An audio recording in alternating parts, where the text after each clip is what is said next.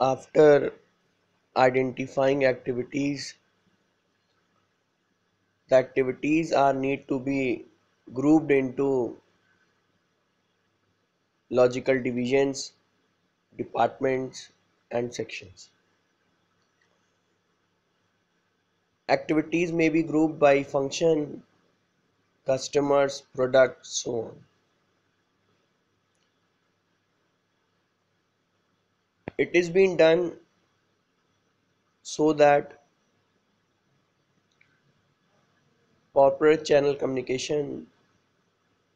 proper sectional department proper identification of work into sub channel into specific task related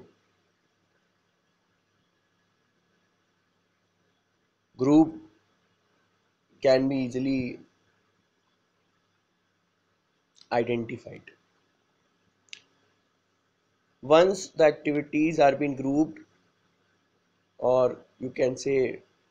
the different sections and departments are made, we move to the assigning the duties and we assign duties each and every individual who is been working for the fulfillment of objective in the organization. It is very important that who is being responsible to perform the task must know his duty very clearly so that same activity must not be performed by